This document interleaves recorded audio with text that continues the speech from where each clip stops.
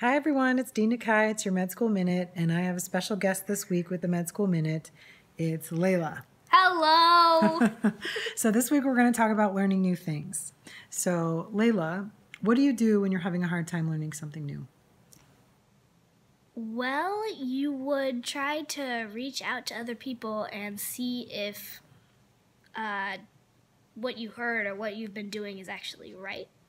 Hmm Why do you think it's hard to learn new things sometimes or to try something new?